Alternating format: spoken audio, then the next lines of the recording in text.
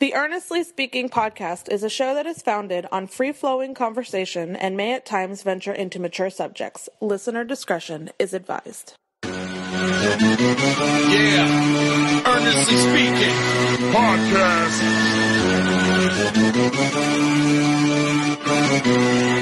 Let's get it. I'm a giant in New York, in Miami carry heat. So much more in store, my product can flood the street. Opinionation Godfather, CEO. Puff in the late 90s, gon' see me blow. Oh. Got my hustle on, no imitation of that. Army of untouchables, Opinion Nation staff. Never an off season, homie. Check the numbers.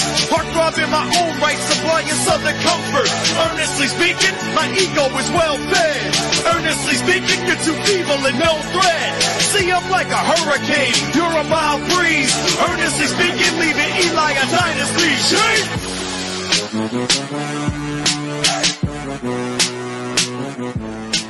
Earthly Podcast coming to you September 12th, 2024. Look who's back. It's one of, one of our favorites here. One of the uh, longest uh, uh, people or persons or whatever. what was that? Dude, just I'm adorable. That's what that is. Marc Francois, friend and activist of the show. How you doing, Marc? I'm well, man. I'm very well indeed. Coming to you from my beautiful bedroom today. I uh, do, I don't have my normal studio little setup going on, so uh, Yeah. we're making things work. But uh, Yeah. here we are. Yeah. Couldn't uh, couldn't miss this after the debate and yeah. By the way, I'm, I'm, I'm, I'm, glad you took off the uh, Dodgers hat. Like, you know. that one was filthy. That Although- one was filthy. Yeah, it is. Although I, I, I, gotta be honest, last time we spoke on the podcast, like the Mets were in the sh- in the dog shit, and now they're right now in the wild card.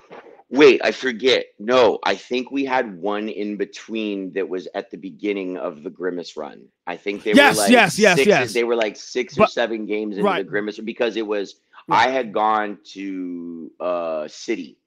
Uh I want to say it was like May 28th, 29th, After something like that. And we be- no, no, no, it was before because we beat up on them. Okay. Um, and then I want to say within like a week of that is when the Grimace thing happened and their season started turning around and things started looking up and and then I think the Yankee oh you know what it was in June because I had gone to both Citi and Yankee Stadium. That's when we met when we talked because the Yankees and Mets had flip flopped since our previous conversation. The Yankees Yeah. were going through it, yeah. and the Mets were starting to look like a professional baseball team again. and it, and and they still still look like one. Apparently, it was Yeah. crazy. And the playoffs started today. They'd be they'd be the walk. Yeah, you got fucking uh, Phillies and the Dodgers going back and forth for the best record in the National League, and the Mets Yeah. and the Padres just won't go away. Yeah. either division. very frisky, very frisky times. But yeah, you, you mentioned the debate, man. This is why we're here. Um, you know, this is this podcast for 13 years. You know, Marc and I, we always talk politics on here, especially during election years. It's always been a thing we've been doing for quite a long time, and it doesn't change now. We are right now well past the something stretch of the of the uh, of the of the uh, this political uh, cycle. We're seven weeks away from the election, buddy. This is crazy. I'm not ready for it to be that deep into fall yet. I'm, I'm like, Neither am I. put away the fucking pumpkin spice. I'm still drinking margaritas. Leave me alone. Like, Ask my wife. though. My wife, my wife's all over the pumpkin stuff already now. oh Thanks. no. She's, she's she's one of those. Yeah. Well, and it's crazy too now because it's like you go to you know Target is kind of the indicator of where you are in the in the the calendar, and it's Yeah. like Fourth of July, like Fourth of July goes out, Yeah. and then as soon like by July second, they've got the Fourth of July stuff in the clearance section. Yeah. The school supplies are Yeah. out, and you're like, huh. What? I mean, parents are obviously excited because they're like, "Yeah, shit's right around the corner. I get rid of these little." I'm not gonna lie. CMs." We're already talking I'm about so- we're already talking about the holidays now. We're already talking about the holidays, not my house. I mean, it's kind of something I am starting to do more in my life, but only because I live on the opposite side of the country from most of the people I would celebrate the holidays with, and that requires a little planning and budgeting. But yeah, historically, that was never my vibe. And the we- and also I just don't have a choice now. And I feel like also the weather dictates that. Like like in New York, obviously in New York, you you feel Christmas pretty early because cold weather starts coming in about La- so last year was definitely like that, where I want to say, you know, September 21st or whatever is the equinox. and like, I swear to God, on the 22nd, we were all standing out in front of the, the little like local watering hole where I hang out. And it was Mhm. probably like 45 or 50 degrees. Mhm. and we're looking at each other. We're like, "What the fuck? It's been fall for like forty-five minutes. what the hell?" Like, I was like, "Man, y'all don't play with these seasons here." Came with a bang, Hey, brother. Came with a bang. Yeah, well, and and I well, so and I live right by the water too. So oh, really? on the on the Atlantic side, yeah, I'm on the Oh, south wow. shore. Of, I'm on the south shore of Long Island. So um, Extra crispy. yeah, you feel that like it was funny because I was working for uh I was I was working with this organization. I was helping them out with some stuff uh last last winter and they're on the North Shore on the sound side. Right. And what I did not realize is that on any given day, we will be 10 degrees colder, or at least feel 10 degrees colder, with probably anywhere from 5 to 25 miles an hour more wind than whatever they're dealing with on the North Shore side.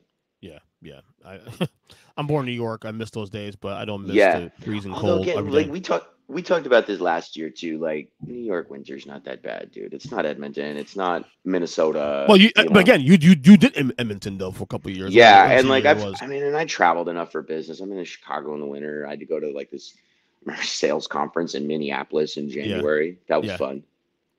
What's that? Oh, that was pretty cool actually. The uh, little thumbs up there. Yeah, I hadn't seen that before. We got live. We got live viewers. Wow. No, no, no, no, no. That's this came out of nowhere. I guess I don't know. Hmm. Okay. maybe it's from your, maybe from your phone. I guess I don't know. Maybe Yeah. Kind of cool. Kind of cool. Okay. All right, so now that's on the way. The debate was two uh, two nights ago. Mm-hmm. Um, I My brain the still hurts. Yeah, the more you realize we did a watch. I did a watch along actually, uh, watch party with, with with it, and that was a lot of fun. But I guess let me ask you guys, uh, ask you rather. Um, what is your takeaway? Biggest takeaway from the debate? was exactly what I expected it to be. That that would probably be my overarching takeaway. There on one side, I had a grown up that I agree with probably 65, 70%. And I have some pretty stark disagreements with on a couple of positions, debating an 80 year old child. Like, that man can't string three sentences together it is we are so past the point of like oh trump says wild things or you know trump said a racist thing trump can't say things anymore like words are are leaving his mouth but i don't know what the fuck he's talking about it, You know what's funny though, Marc? You know what's funny though? I so this is like yesterday actually. I, I actually watched a 27 minute compilation of Donald Trump's like 2015 2016 campaign. yeah And and look, even whether or not you agree disagree with, with him and all this stuff, there's a stark difference between him then he could speak in now. complete sentences i didn't like the sentences he was saying but he could at least complete them He was like peak level insult comic. Great. Back then. Like he was even even his populist message was was more coher- coherent. yeah You know, there was a reason his his rallies did in fact have excuse me thousands of people in 15 and 16 like that was a thing. I wasn't happy about it but it was a thing. Right. now like yeah no it's it's because you know it's kind of what we talked about last time too as soon as uh joe biden announced his departure. And that was you did we podcast even there's a whole lot of people that have been historically republican especially in places like here in suburban california probably in your neck of the woods where Mhm. you have people that are going to hold their nose and vote for kamala harris because they go this man has lost his mind he is not fit he is not well I just realized the last pod we did was in July. okay And and that pod was right. I think it was literally two the- days. i think it was the day or two after joe biden No, no, before, before, before. that's right that's right because we we recorded on like thursday or friday and On Thursday, he on announced Thursday, on on Sunday. sunday, right. The, the 16th that's of what July. it was He announced on the 19th, I believe. Mhm. So, yeah, That's I right. Mean, we should, we should kind of before we go to debate, we should kind of go back to that real quick first because we have we have we've had so much happen since then. I know we spoke after the, the Trump. yeah, that's it was funny because we talked on the phone and texted so much when that shit all Right. hit the fan. I just Right. assumed we potted. so and I know we didn't react to the, Trump assassination attempt. We knew that. That that I remember. Um, but was what's happened since then. So let's go back to the Biden thing first. We'll get to the debate in a second. Um, your thoughts on how it was handled and all that stuff. it was late, but other than that, it was done about as well as it could have been. That that would probably be my only that would be my only real overarching takeaway is just a little more runway for uh, Vice President Harris and, and Governor Walz, but otherwise it's fine. Fine. I, I'm I'm relieved more than anything. So I'm like, "Mm, okay, fine. You were a little late to the party, but but you know, better late than never. I better than Joe Biden still being on the ballot in November. Do you agree with the way it was handled? 'Cause don't there's a- really know another way. I, I I guess I do, but I don't. It's more not because I think, oh my God, that was so wonderful. I couldn't have pictured something, but it's more just because I can't. Um, I, I I can't kind of imagine another way it would have been done. It's like it was messy. You were kind of like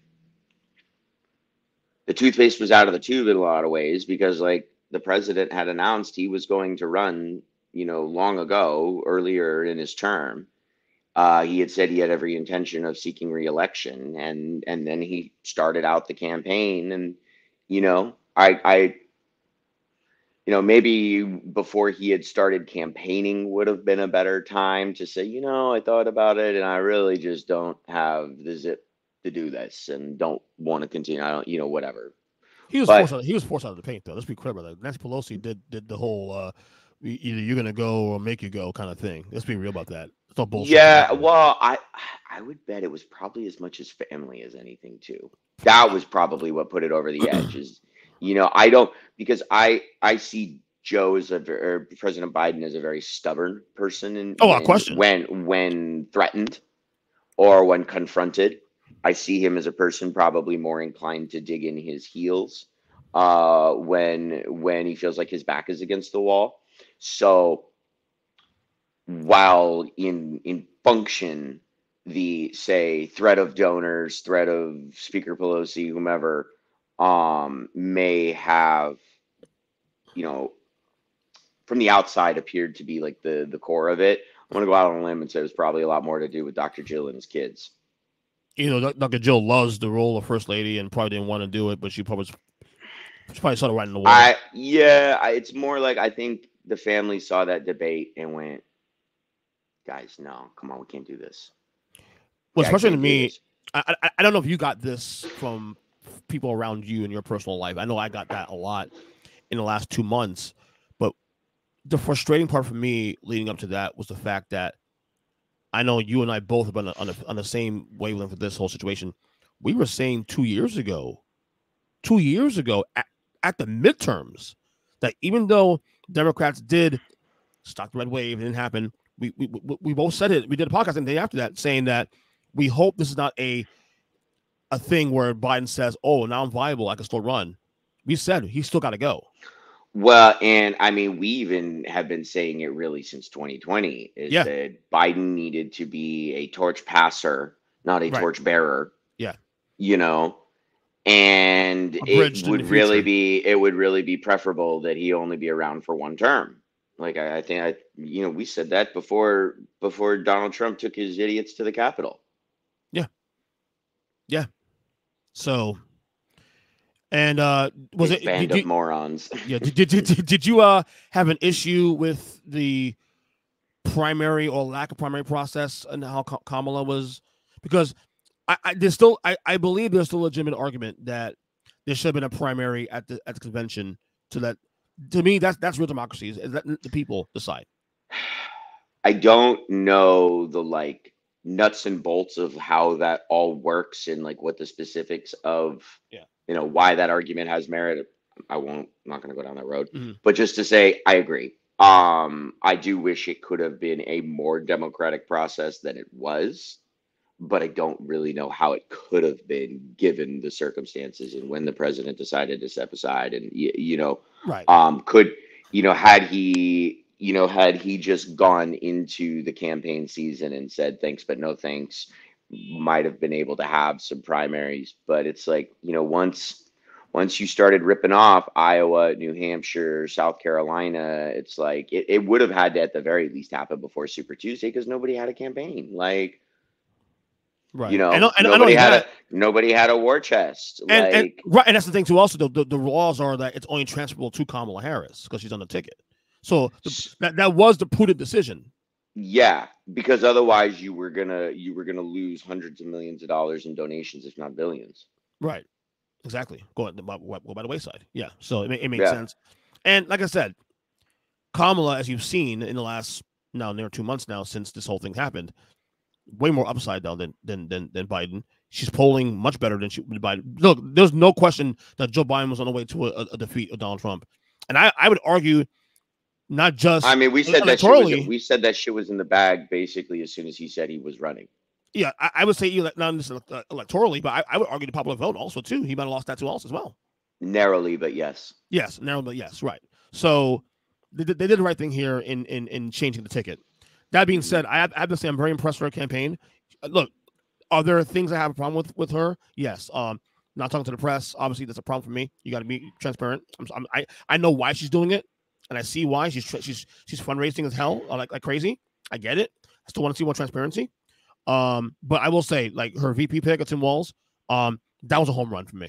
That's a grand slam. In fact, that's who I wanted to her to pick. It, for me, it was him or Mark Kelly. Or sorry, Tim Walz was somebody I was not terribly familiar with. I will, I will admit. For me, it was. uh, I would say my two were either Andy Beshear or Mark Kelly. But then, as soon as I read about Tim Walz and saw one interview with him, I'm like, oh, okay. Yeah, I was mistaken. I was mistaken. I was just not familiar with the governor of Minnesota. Exactly. and, and, and, and look, I mean, look, you're Bernie guy. So if you're Bernie Yeah. guy, you love Tim Walz. Yeah. right down the Bernie path. I, I want to just call him Uncle. I have an Uncle Tim, and so and he's a, he's a fun he's a very fun uncle, and Yeah. so I just want to uh, like I don't even want to call him Governor Walz. I want to call him Uncle Tim, and I feel like if I asked him if I could, he would give me permission to do so, encourage me to do so, because he just seems like an incredibly likable, warm human. and what's clear is that the the, the enthusiasm gap has has, has definitely is, is, is almost even The, now. the yes, yes. Now, when you talk about enthusiasm, and you talk about like who brings in whom, um, you know, kind of going back to the debate a little bit, um, and and the issues, and more, I guess, than just the issues in general, where where Vice President Harris finds herself, because she did release her official platform, by the way, I think yesterday or today. Okay, Yeah, on, on, on, the website. I was literally doom scrolling this morning while we were uh, waiting to do this, and I saw it. It was on, um, I forget, maybe the Hill or the Atlantic put an infographic together of slides, something like that. It was black and yellow. Um, but I'm sure it's going to be a, o- on a dozen different Instagram pages that we follow. So, but yeah, her official her official like position or platform positions or whatever is out. But where I do have an issue, it's like she did a really she made a really smart pick in Tim Walz. You know, obviously, I mean, we said it was all all but guaranteed she was going to have to bring in like a swing st- uh, uh, somebody from a swing state, most likely a white man, because she was going to have too much racism and misogyny against her to you know if it was two black women, it would it would give all the pearl clutchers strokes. You know what I mean? It's it's that kind of thing. Yeah, of course. But I- where I have issue and where I think she's playing a dangerous game is that she's not taking a hard enough position. she is doing some really nice things on consumer protection. She is doing some active work, like not just campaigning on it, but actively doing things to bring down prices. Um, but I don't I think she's playing a dangerous game going for white moderates instead of the youth and prin- principally on the issues of um, Gaza and Israel yeah, and, that's the main issue. and and corporate corruption right. and defense and like defense spending you know and I I, would I- say I would say like the the the militarism goes hand in hand with the Gaza issue because our religion of military in this country is exactly what's feeding our refusal to put a stop to genocide So here's a platform right here. I believe this is it, right here. Cut taxes to middle class families, make rent. This is the big one for me. Make rent more affordable and home ownership more attainable. That's humongous for me. Because that's one of the mis- biggest issues of, of this inflation era. See, that's one I need to drill into, and that's one if I could ask the vice president, I would want some very specific and, and uncomfortable answers on, because historically, establishment Democrats don't have a good track record of standing up to the real estate lobby, of standing up to the the the rental, uh, you know, the the landlord lobby, right. the banks, the private equity companies, like they they roll over for that. And I agree. So, how are you going to bring down rent, Madam Vice President? Because you don't have a track record of doing much to bitch slap those people up and down the Beltway. Right. That's uh, that would be your colleague Senator Warren. Exactly. Uh, grow small business and invest in entrepreneurs. Uh, take on bad actors and bring down costs. Strengthen and bring down the cost of healthcare. That's another big one for me. Uh, protect and strengthen Social Security and Medicare. That's a huge one for me as well too, as I'm in my mid 40s. Um, support American innovation and workers. Provide a pathway to middle class to quality, affordable education. Invest, and this is huge. Invest in affordable child care and long term care. That's again the uh, Tim Walz uh, pick right there. Um, Yeah, lower energy costs and tackle the climate crisis. And of course, uh, they, they have uh, Trump's uh, Project 2025 agenda. And. I would and I would say the same statement I just made about the real estate lobby also applies to the healthcare and insurance lobbies. Right. And of course, They don't have Mhm. establishment Democrats don't have a good rec- track record on that since the Affordable Care Act. Right. Of course, the, the the social issue here, of course, was restore and protect productive, productive freedoms and protect civil rights and freedoms as well. That's that's standard there. Yeah. But she- what I- what I really need the Democrats to do, and, and specifically Vice President Harris in her campaign, is you know this has to it, like you can't we can't just keep putting patches on 60 year old tires. The rubber is dried out corroded and falling off the fucking rim. I think- we need new like we need new shit so quit just putting little band-aids on bullet wounds Well- every time every time you lose a fraction of a percent of your majority I mean, you can some- argue some the reason- republican rips Yeah, it off I agree 100. percent Which is, and, and again, you can argue, and we, we, we for years we talked about this too. Also, that that lane of, of of populism, of course. That's what Donald Trump Donald Trump tapped into in 2016. Yeah, and in in, in for example, in the case of healthcare, like Medicare for all needs to be where we start. If that's not the if that's not what you're working, like the bar is on the fucking floor right now for American healthcare and healthcare affordability and outcomes for American patients compared to other developed nations. So if it if it doesn't start with Medicare for all, like I don't even know what you're talking about. That, that which is why I'm so interested in the Tim Walz pick because Tim Walz represents all those things now. This is why I'm wondering if, is this is this the Democrats finally coming to terms that you know what? Because they they they've lost the numbers, and you can only continue to, to, to drive home the abortion thing and drive home the Trump is bad thing so much. You know what I mean? My cynical concern is that it's placating the Bernie voter to get them into the booth in November. But then once once we're you know inaugurated and rolling, they're not going to have time for that. We're not going to want to spend that political capital Right. this early in the administration. Well, I want to see. the- uh, well, and all right. the other bullshit answers they give when they sell out the left. and that's why I'm hoping like so like the Democrats do well to say in the House and the Senate. Let's say they get more seats in the Senate. Right now, they one one seat advantage. Yeah, i'll see get more. We'll see how this election goes. Um, I don't think their odds are very good on either of those fronts. By the way, To- I think gain- they're to going to gain win. I think they're going to win. I think they're going to win the presidency, and I don't think they're going to like. I don't know. I'm, I I'm was, not I haven't, confident. I haven't followed the uh, the House race, uh, the House races, uh, um, It- uh, polling. you know. If we wake up on November 8th or whatever the hell Wednesday is, and there's Yeah. a like four or five seat majority in the Senate for Democrats, I would be pretty shocked. right, You know Right. what I mean? right. I think it might actually go the other way. Think so? Hmm. Interesting. Well, we'll see. We'll see. I mean, it's possible. I mean, this this election can change all that too, also because some of the rhetoric you're hearing now, it's. I think people are starting to I, get. I it. do I do think Trump's god awful debate performance the other night is going to harm people down ballot because now you have people But that's what I'm saying. That like you're gonna have a whole bunch of candidates that are not wanting that man to campaign for them because they don't want to get tagged with some viral ridiculous thing he says if he uses the R slur and calls somebody the N word without thinking about it on national television and now your campaign's got that fucking Right. strapped to it. Especially if you know that this is definitely his last chance to get in office, because there's no way in hell he's running again in four years. Not unless they find a way to Elon Musk like puts a Tesla battery into his ass or something. I don't know. Like I mean, the guy, the guy is the man is 78 years old, looks, it sounds, and from all accounts of people around him, smells like he's well, like more than on death's door. still finds a way to stay alive, man. still finds a way. Like when you It's look crazy. at close-up pictures of his skin, Yeah. It's weird. It doesn't look like skin. I don't even know what to call it. Yeah, and I think there's a lot. Of, and I, I there's a lot It's a good thing I haven't had breakfast yet.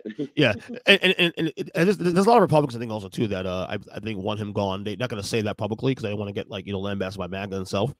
But uh, uh, there's, there's Republicans behind. I mean, behind JD. Vance is the fascist they want. That's why he's on the ticket. Right.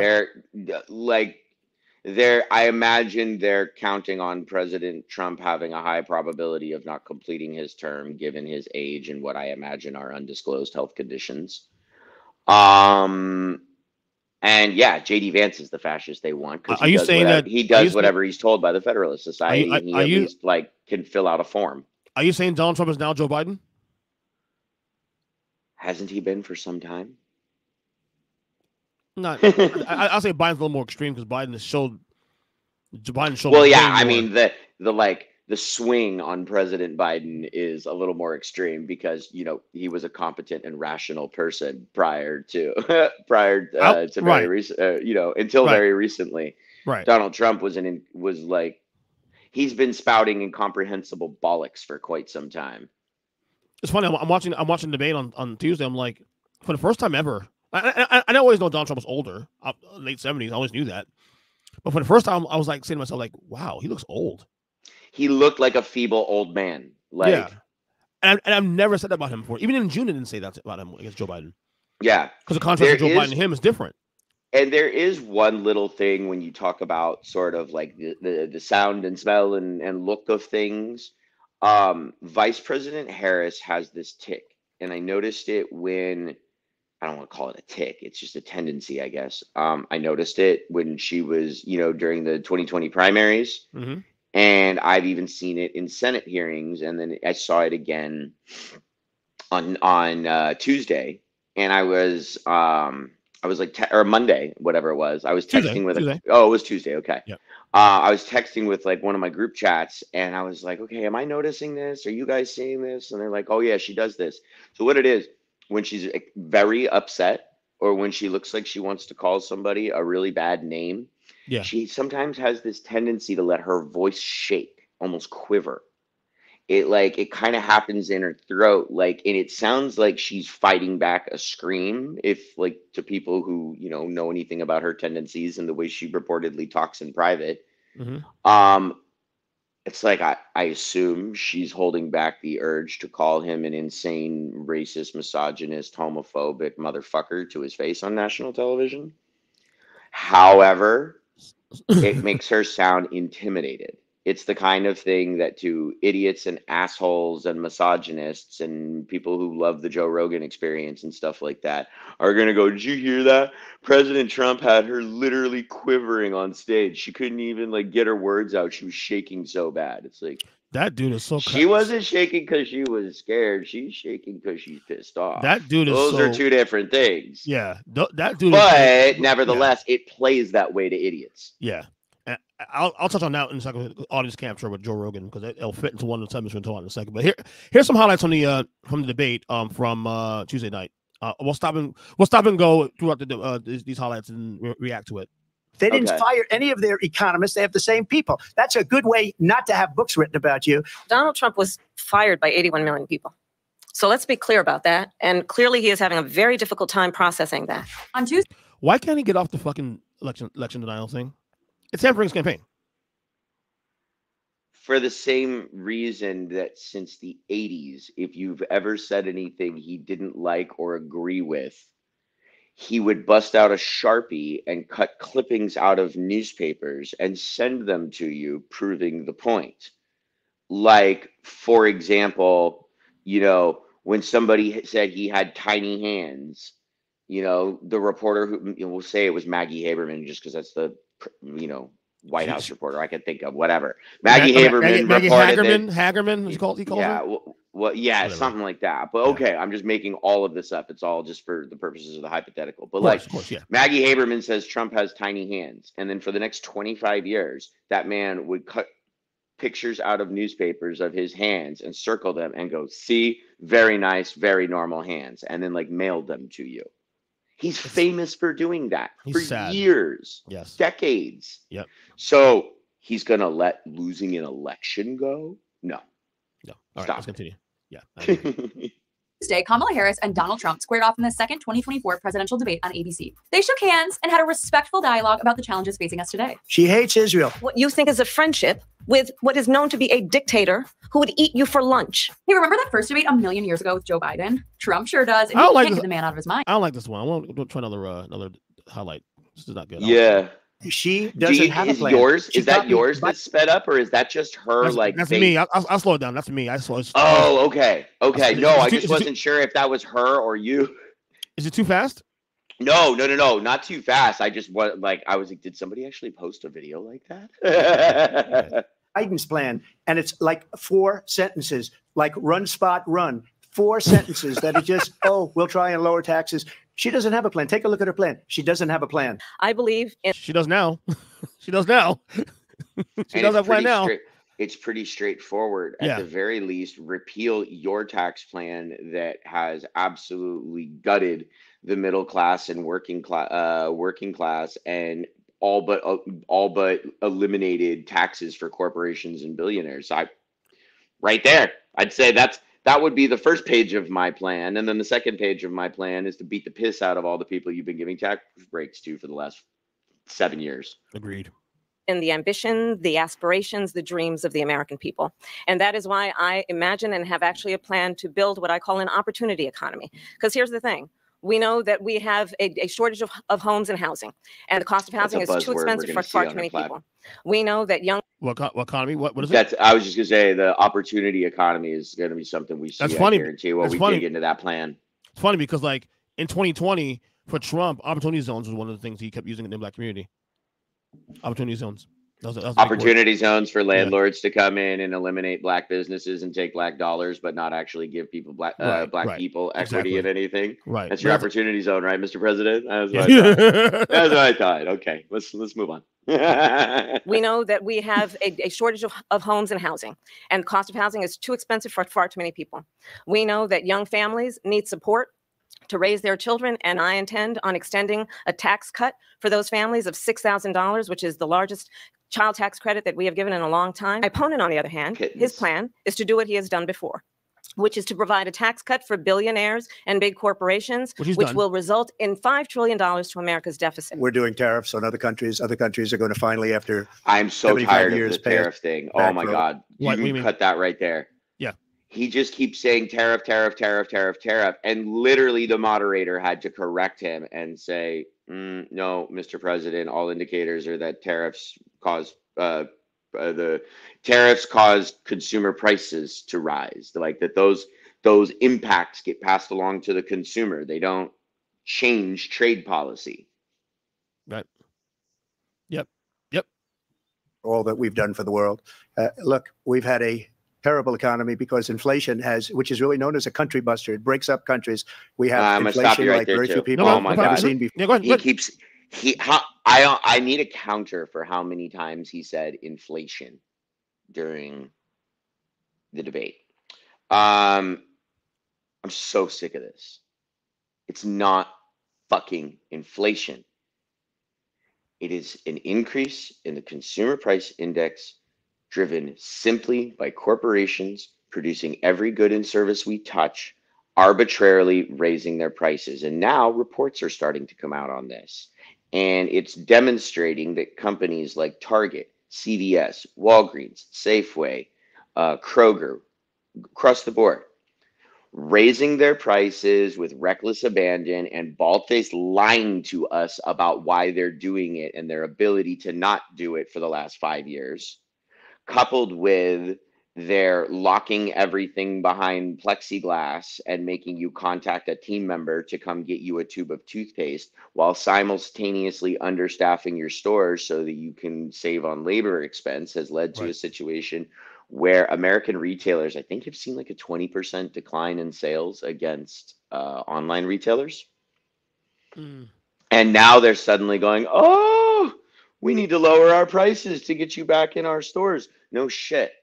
Did The you ever think that the reason people are stealing from you is because they can't afford to buy a carton of eggs for fourteen ninety five, and they can't afford to buy a bag of spinach for eight ninety five, and then a this, gallon of milk is seven dollars. You know, whatever. Like, it's insane. It isn't insane. And- And, and saying a lot of the crime we have you see now is because desperation, not because they want to do crime.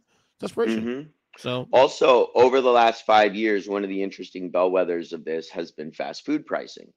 For example, over the last five years, inflationary conditions would explain a roughly 30% increase in pricing at the drive through. uh The only major American fast food retailer who is in line with that curve is Starbucks. They're at about a 32 or 34% pricing increase over the last five years. So they've trended with market conditions. right, They are the only one who has done so. right. It starts with like Subway. Subway's at like 40, 44%. But then it starts getting crazy once you get up to like, um, I want to say KFC has gone up like 56%. But then the really bad ones are Chipotle, hmm Taco Bell, Popeyes, and McDonald's. Uh, Chipotle went up 56%. Taco Bell went up like 81% or 77%, something like that. Uh, Popeyes went up 86%, Wow. and McDonald's 100%. Thank God I don't eat those. McDonald's has doubled their prices in five years. Yep. It's crazy, right? It's insane. For So- probably the worst. Oh, sorry, go ahead, go ahead, go ahead. Oh, yeah. So I was just saying, it's like all these different things you're talking about. Infl- This isn't inflation. This is corporations. It's price, it's price gouging. Yeah, corporations are paying their workers, us, less than they've ever paid us, and then they are charging us more than they've ever charged us relativistically for the same goods and services. So and yet I'm paid- and yet I'm supposed to vote against a minimum wage increase. Get the fuck out of here. Bro. yeah, and Seriously. nine like the what is it the the the loss of wealth by the lower ninety percent is up to like eight trillion dollars or something like that since the pandemic. that's insane. And or six trillion, something along. It's it, it is no eight trillion is a different number. Sorry, I got that mixed up with something we're going to talk about in a minute. Uh, no, I want to say it's like five and a half or six trillion that the the American worker has lost, and that the working and poor and middle class have lost over the last five years, and like eighty or ninety percent of it goes to the top, uh, you know, the the richest people in the world, It's insane. Right, let's just and then they're not taxed on it. no, and that's the worst part. Not taxing either. Yeah, fucking crazy. Worst in our nation's history. We were at 21%, but that's being generous because many things are 50, 60, 70, and 80% higher than they were just a few years ago. about. They have, Nope. and she has. He's just throwing numbers out there. I mean, he's probably is. correct, but he's just throwing numbers and saying things. That's like, okay, what's up 20%? What's up 50%? I just said, yes, McDonald's has raised their prices 100%. You know, Chipotle has raised their prices 56%. But that's what he does. He floods the zone. He floods the zone. Yeah, he doesn't. And this is what I mean when I, with, and I mean, he's been, he was much better at this eight Oh years God, yeah, ago 2016. Yeah. he could flood the zone with things that actually sounded like talking points, but now he's just, it's just word salad. Well, word salad and dogs being eaten, but we'll get there later.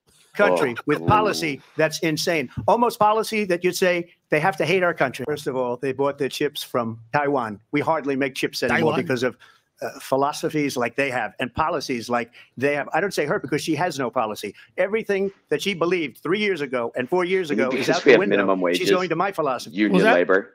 So because we have minimum wages and union labor, that's why we don't manufacture as many chips in the United States. We don't Yeah. pay people three cents a day and you know round them up in fields to come work in factories.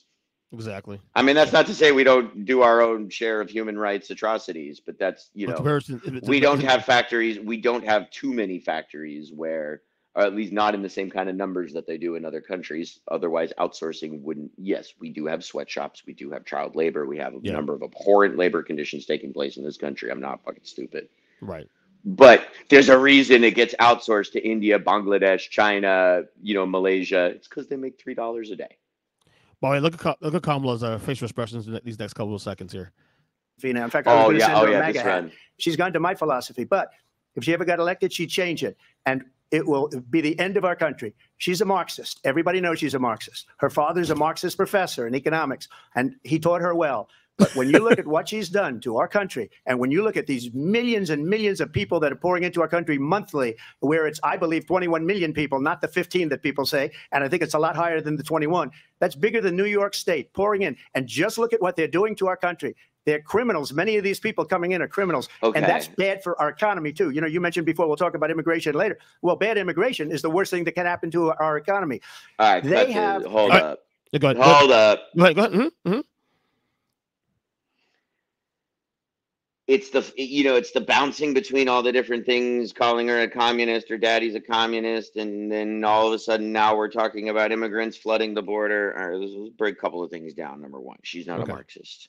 Calling a centrist a Marxist is insulting to people who are actually Marxists because she couldn't carry a Marxist sweaty gym bag. She doesn't have the policy positions, and like has happened in many times throughout history, she finds herself in a contingent of quote unquote liberals who would sell out the far left for a cookie. Um, Well, we're talking Immigration. cookies. It means pretty good cookies, though. well, I mean, it depends. I mean, are we Yeah. talking about Levain? Are we talking about Crumbl? I mean, um, Crumbl's crap. Uh, as crap. Um, insomnia cookies are good though. Um, I like, I like soft The-. Oh, okay. Um, no, but the immigration thing, I've talked about this numerous times about our policies on ref, you know, going back to Title 42 on refugees, asylum seekers, and what have you. Our economy is actively leaving GDP on the table to the tune of about $8 billion a year, the last time I looked, by not admitting more immigrants from particularly the global south because we have a tremendous labor shortage in this country at the lower at, the the lower skill and wage tiers of the workforce. The reason for that is manyfold but the most the most prominent reason as to for example why employees are you, you know having an exodus from the service industry pay benefits pto that's simple Mm. pay people a living wage, give them health care, let them take at least two to four weeks of vacation a year, and stop putting them in cages at the border. And you will see our economy grow at the three, three and a half percent they claim that their shit can do. You know, that that that would happen. But you know, right now we are admitting fewer refugees, asylum seekers, and immigrants from the global south than we have in 10 years and it is negatively impacting our economy. It's, it's all. It's Period. All, End of it's, it's all. It, it, let me put it's all fear mongering. It really is. It really is. Yeah, it's I mean the whole thing. It's oh, she's a communist. Oh, she's going to let the rapists and killers in. Oh, this, oh that. It's the same victim grievance fear mongering crap. And if your message is fear and opposition, not leadership and inspiration, you're just an asshole I agree. Hundred percent. All right, let's continue. and a She dangerous one at has that. destroyed our country with policy that's insane. Almost policy that you say they have to hate our country. Trump. Well, as I said, Okay, Mr. a bunch of President. Um, how did how did she just how did she destroy our economy? She's not the president. Exactly. Well, again, people. She's she's people al- provided she's presided over exactly what two votes in four years. and Three to be fair, and to be fair, also too, the the, the I, I keep telling people this all the time. The role of vice president, honestly, is the most overrated role in the history of politics. Like So literally wasn't it? Uh, was, uh, it's a line in The West Wing. There's a Leo. Uh, Leo Very. is talking to Josh, and he says something about it being like a gilded prison or something like that, or Yeah. uh, like the the the most prestigious emeritus position, something like that. But yeah, you're- basically, you're, you're basically a bitch boy. You're basically a bitch boy. Yeah, you're sitting there in case in case your boss dies. Like watch Veep. Like Yeah, I know it's you- comedy and all, but Veep is uh, is a pretty much a, a pretty accurate, but, but, Yeah. but satire, but, but accurate description of what, what the vice president role really is. and how don't you do get anything. from how you get from Hoynes to Berry Hill to Bingo Bob. Right. Exactly. We'll get to that. We'll get to all that. We'll get Yep, to that. okay. So now on, on on the abortion issue, why should women trust Trump on the issue of abortion? Here we go. and that's not actually a surprising fact. Let's understand how we got here. Donald Trump hand selected three members of the United States Supreme Court with the intention that they would undo the protections of Roe v. Wade. And they did exactly as he intended. And now, in over 20 states, there are Trump abortion bans, which make it criminal for a doctor or nurse to provide health care. In one state, it provides prison for life. Trump abortion bans that make no exception even for rape and incest, which understand what that means. A survivor of a crime, a violation to their body, does not have the right to make a decision about what happens to their body next. That is immoral.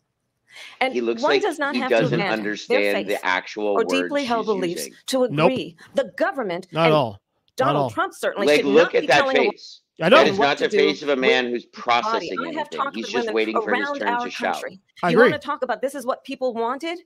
Pregnant women who want to carry She pregnancy to doesn't- term, suffering from a miscarriage, being denied care in an emergency room because the healthcare providers are afraid they might go to jail. This is and when she's her voice bleeding out stopped shaking, by the the way, lot. this is when she She actually didn't got pissed that. off. Her husband This this is the issue when she took, really, really took off for her. It just really, Yeah, really no, this is this is exactly where I was. I think you. I can't remember if I was texting you or if it was the group chat, but I literally said she lost the quiver and she she locked in now. She now she's spitting fire. because this is the Because issue. it's that- like if she actually leans into it and like gets pissed off and shouts at him, she sounds better. Like yeah, she absolutely. didn't want that. because she's Yeah. doing A what I want her to do, which is like you're so full of shit. Yeah, exactly. And you, you can see his reactions like, what, what, how am I gonna fuck fucking want to counter this? Like abortion's gonna kill. Abortion's gonna. He looks If, he looks like a child getting yelled at by a teacher when he's like fully caught and can't do anything about it and he's just trying to like sit there and not make eye contact but you kind of have to make eye If- contact every right. once in a while can't say anything because she got you dead to rights like if she wins this election, for example, um, this is the issue that, that that helps her and hurts him. This is the issue, without question. well, yeah because i think this is the issue that has people who will even report to pollsters that they're voting for trump holding their nose and voting for her in private because even if they're conservative like they can't rock with the Roe stuff and I think I think that's ultimately what's what's going to probably be the the the the major like linchpin issue of this election because as we're seeing in real time, um, the like the Federalists is because so all right, hold on, this is another like little West Wing tie-in, but like that show came out in 1999 and ended in 2007, and the Federalist Society was trying to shove judges through the door who would overturn Roe. Like that was a talking point in the West Wing in like 2003. Yeah. Yep. Like absolutely. this is not new. This has always been the plan, and it's like, um, I, I think she, I think she killed it on this issue. Um, I think this issue will win her the election. Um, but I'm just so sick and tired of all the nonsense. And then because I did mention the Federalist Society, the way he tries to distance himself from Project 2025 is honestly comical. All survivor of incest being forced to carry a pregnancy to term they don't want that if you want to really know the inside track on who the former president is if he didn't make it clear already just ask people who have worked with him his former chief of staff a four-star general has said he has contempt for the constitution of the united states his former national security advisor has said he is dangerous Yes, and yes, I do. unfit. His former Secretary of Defense I am dangerous. said the nation, the republic, would never But survive I'm very fit. another Trump term. See, I'm a different kind of a person. I fired most of those people, not so graciously. They did bad things or a bad job. I fired them. They never fired one person. They didn't fire anybody having to do with Afghanistan and the Taliban and the 13 people who's who's were just killed viciously and violently killed. And I got to know the parents and the family. They didn't fire. They should What have is he fired all talking those about? generals. Pause all those quick. Yeah, yeah, yeah. Do, do you actually know what he's talking about? No, it's all bullshit. The 13 people, like, we haven't been in Afghanistan in three years. What the fuck are we talking about? Like, Exactly. huh? Yeah, he got flustered. He got flustered because he knows he's, he's being called out. See, Joe Biden. But yeah, but this is what I could. mean, and I'm kind of doing. I'm I'm almost doing a little bit of shtick with this because it's like, how do people watch this and go, that guy knows what the fuck he's talking because about? they vote on fucking vibes. That's why. I mean, I know. I yes. I, I mean, I'm asking semi rhetorically, but I'm like, you, And- and, uh, I want to sit there. I, I literally w- wish I could like walk around with this video to my neighbors here because I see way too many Trump flags and shit, and go. You did you actually hear what he said, or did you just hear Jesse Watters talk about what he said? Because if you tell me what that means, explain it to me, Trump They heard. supporter. They heard Charlie. what did what what argument did he just make? No, they heard I- Charlie Brown's teachers. They heard. Yeah, like I'll wait. I'll wait. Yeah. Like No, it's- it's you ridiculous. didn't say anything. He didn't say anything. Yeah, exactly. All right. continue. people because that was one of the most incompetently handled situations anybody has ever seen. So when somebody does a bad job, I fire him. This is someone who has openly said he would terminate, I'm quoting, terminate the Constitution of the United States, that he would weaponize the Department. I don't know why he's shaking his head there. He did say that. He tweeted that. It's, it's all for the world see. And this and, and this right here for me, when people ask me, and uh, I know there's a lot there's a lot of people on social media in my own family who are who've been getting down on me the last couple of weeks about like you know you know you're kind of soft on Trump these days and all this stuff. And I keep telling them, I don't know why you think that. I I have never voted for Donald Trump. I will never vote for Donald Trump. Even if I was still a Republican, I could vote for Donald Trump because of principles. Like just Yeah, that right there alone. we can say, if you don't get it, if like you can watch this and still go, he knows what he's doing. That's Yeah. the guy. I that's the guy we need. I No, I don't need to have a conversation with you. You're you're beyond help. Right, and the thing is to also like, even if I was a Republican and I love I love the policies, and for example, I could I still couldn't vote for him because uh, just- uh, just on principle, you tried to stop the Constitution. That's the to me that's disqualifying right there. Also, this this will tie into something we're gonna do in a little bit, but Yeah. like, let's be clear.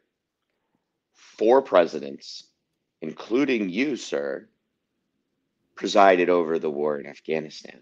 Yeah. One finish. Like, and two of those guys did it for eight years at a time. Afghanistan was everyone's fault, including us, you and me. Like, Afghanistan and Iraq are every single American's fault that was alive at that time and over the age of 18. Yep. If you were alive, if you were 18 or older in 2002, we all bear responsibility in Iraq and Afghanistan. Yeah. And all the other damage, you know, peripheral to that. I- I don't- We I- were all foaming at the mouth on September 12th. We were. Yep. But there are reasons for it. Anyway, go on. Yeah, I, I don't. We'll get we'll get to that. Yeah. Absolutely. of justice against his political enemies. Someone who has openly expressed disdain for members of our military. Understand what it would mean if Donald Trump were back in the White House with no guardrails. I probably took a bullet to the head because of the things that they say about me. They talk about democracy. I'm a threat to democracy. They're the threat to democracy with a President fake Russia. You do understand that a, a Republican shot you. And you took a shard of glass to your ear. If you got Well, well, shot, no, no, you no, no. wouldn't He- look like that. He still got shot. He still got shot at though. Let's be Okay, real. Maybe- I don't. yeah, I don't want to downgrade that. yeah, though, but he- okay, he got shot at. But like my only thing is uh, this though. What my only thing is this though, and I'm not even defending here, but your your rhetoric, you have to know what your rhetoric stands for, and what your rhetoric created. that Okay, part. you're polarizing. You didn't think That part. so. Yeah, you're not going to piss people off the way you talk and the way you act and the way you the things you say. every think tank, uh, uh, foundation, nonprofit that does research on like violence, extremism, Yeah, the connection between political statements and political violence, that stuff has all been sharply on the rise since 2008 and was ramped up even more since 2016 by that fat orange piece of shit we see on the left. And it's pretty much universally understood. Donald Trump's rallies have made Americans less safe. and they have thing made from mass shootings right. more likely to take place. They have why- made acts of political violence more likely to take place. And again, it was not the left. It was not Antifa who rallied tens of thousands of people to the steps of the Capitol, kicked in the fucking doors, and tried to lynch members of Congress. Yeah. And the thing is also, it isn't one reason why I, I can't stand Ted Cruz. Forget his policies and politics and all that. This dude and his, his face. Thi- His well, face. that dude, is yeah. This dude on the left elf. right here, this dude on the left here insulted Ted Cruz's wife and and father. You know, um, first off, I think he's great. only that, that, I don't care that he calls my wife. I don't. ugly." I, I'm gonna be clear about this. I don't give a fuck who you are. If you talk shit about my wife, I'm fucking you up on sight. I don't give a fuck if you're president of the United States. End of discussion. Principles matter to me. Well, you have to have a spine to you know to understand that line of thinking. So anyway, back to the uh, debate. Russia, What Russia investigation. Russia, that Russia, went nowhere. We. Well, I think this is so rich coming from someone who has been prosecuted for national security crimes, economic crimes, election interference, has been found liable for sexual assault, and his next big court appearance is in November at his own criminal sentence. Look at what's going on in the Middle East. This would have never happened. I will get that settled and fast, and I'll get the war with Ukraine and Russia ended. If I'm president elect, I'll get it done before even becoming president. Vice And President stop. Harris, he says you hate Yeah, Israel. that- that- that- And, uh, bullshit. That's bullshit. Let's You're not going be to. clear. If he ends the war with Ukraine, it's because it's it it will be because he's empowered Putin to conquer Ukraine. Donald Trump has always been a fanboy of Vladimir Putin and in all likelihood is indirectly bankrolled by him. Hmm. Yeah. So like I to people that uh, there's still people there's still people that drive up and down my street and honk at the guy with Trump flags in his stupid truck. because we have no problem. I hate the libs. I hate Democrats. Which, uh, uh, wait, wait. I can understand you hate the Democratic Party. I totally understand that. There's a lot of shit about the Party I can't stand. But use logic first. Yeah. Okay. Like basic understanding of objective fact. Right. That's absolutely not true. I have my entire career and life supported Israel and the Israeli people. He knows that he's trying to again divide and and distract from the reality, which is it is very well known that Donald Trump is weak and wrong on national security and foreign policy. It is well known that he admires dictators, wants to be a dictator on day 1 according to himself. It is well known that he said of Putin that he can do whatever the hell he wants and go into Ukraine. It is well known that he said when Russia went into Ukraine, it was brilliant. It is well known he exchanged love letters with Kim Jong un. And it is absolutely well known that these dictators and autocrats are rooting for you to be president again because they're so clear they can manipulate you with flattery and favors. And that is why so many military leaders who you have worked with have told me you are a disgrace. That is why we understand that we have to have a president who is not consistently weak Came in and fucking wrong hard on there. national President security, Harris. including the importance of upholding. All right, I'm gonna join Linsey Davis in asking for a pause here. Uh, Go ahead. um, let's also be clear on the. We'll get to her statements on Gaza and whatnot, and her position on Gaza and Israel. Um, but make no mistake. Yeah. Oh, hold on. I think I lost you. There Sorry, I, I had a I had a call come in. okay. Um, no, uh, if on the issue of Gaza specifically, if President Trump was presiding over that relationship, the dip, our diplomatic involvement in that conflict, he would have empowered Benjamin Netanyahu to simply just level Gaza, like carpet bomb Gaza, probably the West Bank too, because that's what he that's what he supports. He, he he's far worse. He's far worse an issue than than than than the, the than Biden is, and, and Biden's not that great on it either. For the record, No, no, is that- no. Both both President Biden and Vice President Harris have abhorrent positions on Gaza. Let's be I agree. like I agree really, really clear. this is why I don't We're up to a people who- point where something like sixty-eight or seventy percent of Americans support ending uh, the sending of weapons to Israel. Yeah. Um, including Republicans. you know, we need a two-state solution, prosecution of war crimes, and an embargo on arms to Israel. It's as simple as that. War crimes, genocide, ethnic cleansing. That's what's happening right now. American citizens are being killed by American weapons wielded by the IDF. All right, that's the last- Thousands of children have died. Every school has been destroyed. Every university has been destroyed. Every hospital has been destroyed. Basic services of food, water, access to air. Um, all of these things were in peril in Gaza prior to October 7th, 2023. And it, It's worse now. it's a genocide. I- I mean, it makes the Warsaw Ghetto look like fucking Disneyland. Yeah.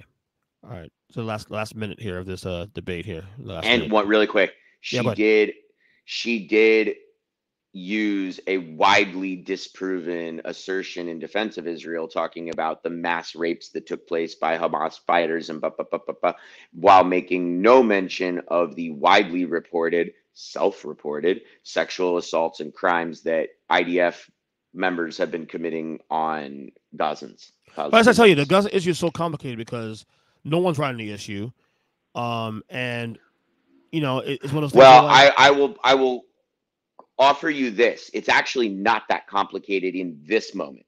Because in this moment, a genocide is taking place. And regardless of who is being ethnically cleansed, that must stop. Regardless of who you believe those people's representatives are, that must stop. Yeah. Bombing homes, killing children, blowing babies to bits, that must stop immediately. Right. Benjamin Netanyahu has never been a good faith actor on the notion of a two state solution. Palestinians have not had any kind of effective representation that that resembles a government or a diplomatic corps since 2006. There's not been an election. They like Palestinians don't have the ability hardly to communicate with one another in the West Bank and Gaza. So, like, how can you say in any way, shape, or form that Palestinian people are being even remotely meaningfully represented? They're not. Right. They're being controlled in a state of apartheid and and uh, occupation. All right. It's just the last minute here of this uh debate. In the highest regard, our military. Vice President Harris, thank you. They're the ones, and she's the one that caused it. That's weak on national security by allowing Caused every what? nation last month for the year 100 Pause it. Caused what? She's the one who caused it. Caused what? National security. It's a- it's a- Yeah. national security. I Look, just. He's not talking about anything. He just says things. He just says. You know 68 different countries what war? What war are we country. Their currently crime embroiled in, way Mr. down. President? That she Putin caused. endorsed her last week. Said, I hope she wins. And I think he meant it because what he's gotten away with is absolutely incredible. It wouldn't have happened with me. The leaders of other countries think that they're weak and incompetent, and they are. They're grossly incompetent. And I just ask one question Why does Biden go in and kill the Keystone pipeline and approve the single biggest deal that Russia's ever made, Nord Stream 2, the biggest pipeline anywhere in the world going to Germany and all over Europe? Because they're weak and they're ineffective. All right. Uh, so maybe because the Keystone XL pipeline is a fucking disaster environmentally and in terms of indigenous rights and sovereignty and the mm, stacks of treaties we've already shit upon for the last 160 years. I, I don't know. Maybe maybe because of that. maybe. Uh, this dude is this. He's hysterical. He really is. Oh, I'm trying to Yeah. find. Yeah. Let me ask you a question. Um, but so Ka- Kamala obviously won the debate. That's not even a con- conversation. I mean shit, Brit Hume was saying it. dude. Every every you know you know what's bad when like uh um many of my Basically everyone but Hannity and Jesse Watters was willing to Jesse Watters a agree that This was Huh? a clown. This was a Oh. clown anyway. yeah. They all are. There's only one good employee at Fox News, and it's that Jessica woman with the glasses, the, the dark-haired lady that regularly dog walks her her fellow panelists. Yeah. I, I I can't think of her last name at the moment, um, but I love her because she's the only person that actually speaks anything resembling a fact on Fox News. Yeah. Um. So, do you think this performance will reflect well in the polls? Yes. I don't think the polls are reflective of the race. Explain. So I think she'll get a bump, but I don't think the polls are accurately going to capture um, what the electorate is doing. Um, there's that guy who's like predicted the last six presidential elections correctly. More, more eight. he- No, ten. That's ten. That's ten, and he's He, uh, got his. He actually, he's got uh, like all of his elements of like why and how and everything, and polling doesn't have fuck all to do with it or something. We we actually that, we actually uh we actually covered that on this podcast about two three episodes ago. Actually, yeah, I could I, I couldn't um I, I did catch part of that and I'm just blanking on some of the specifics because short term memory is weird like that. It's okay. Um No worries, bro. uh but yeah, the point that I I do think the energy is going in the right direction. I do think Kamala Harris is playing a dangerous game, not taking a more firm position on Gaza that is reflective of the electorate, particularly the electorate under 45. But she has said though she wants two state solution, didn't she? Has she said that? she's waffled on it. She has said she has used the words two state solution and and expressed something that sounded like support for it, but it's you know tissue strong. Hmm. There hasn't been a you know Mr. Gorbachev bring down that wall, Mr. B, Mr. Netanyahu tear down Right. those fences. Like th- that's what Yeah. we need. Yeah, the cut yeah. off their allowance, cut off their arms, not their arms, their armaments. Uh, Not, cut literally, off. not, not, not the- literally. It's a figurative Well. I mean, at this point, at this point, you know, maybe maybe that's deserved after what uh, Benjamin Netanyahu and his security. Well, that guy's dangerous fuck anyway, so. He's yeah, and and I mean, at this point, the Israeli leadership is out of step with their own electorate They are. like Zionists are going, guys, this is a bit much. You know? And I think that Vice President Harris is playing a dangerous game pandering to white moderates and older people than speaking firmly to the issues that matter most to young people because the under 40 part of the electorate is the biggest part of the electorate and the part that you need. And if they turn out, you will win now you because young people are not breaking for Trump. Right.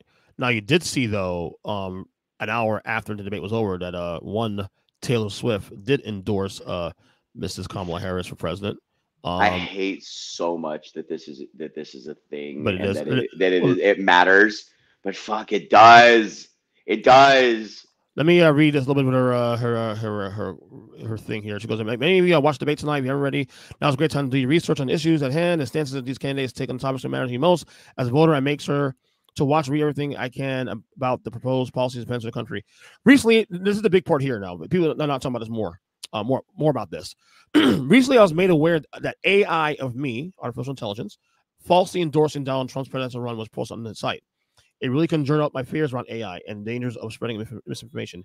It brought me to the conclusion that I need to be very transparent about my actual plans for election to voter. The simplest way to combat mis- misinformation is, with the truth. I'll be my vote for, my no, sorry. I'll be my vote for Kamala Harris and Tim Walz in the the election. I'm voting for Harris because she fights for the rights and causes I believe in. I believe need a warrior to champion them. I think she's a steady-handed, steady-handed, gifted, gifted, sorry, steady-handed, gifted leader, and I believe we can accomplish so much more in this country if we are led by calm and not chaos. I was so Let me stop you for- really quick. Yeah, I just have to tell you when Mhm. you corrected yourself on steady-handed. My audio cut for a second, and it sounded like you said stubby-handed, and I Stubby. I had to like fight back a giggle. Anyway, Right. I was so heartened impressed by her selection of running mate Tim Walz, who has been standing for the LBG, LGBTQ plus rights, IVF, and a woman's rights to her own body in decade, uh, of her own body for decades. I've done my research. I made my choice. Your research is all yours to do, and the choice is yours to make. I'll also want to say, especially for first-time voters, remember that in order to vote, you have to be registered. I also find it's much easier to vote early. And of course, the link, all that with love and hope, uh, Taylor Swift, Childless Cat Lady. Um, yeah, it shouldn't be a thing, obviously. Like celebrities do something. You know, what's funny. This, this, this is what I, I, I get. You know, like frustrated. Like Trump supporters all pissed about this shit. If if Taylor Swift endorsed Donald Trump, you motherfuckers be be going through the fucking roof. Like, stop. You're only mad because the person is not is not endorsing your guy.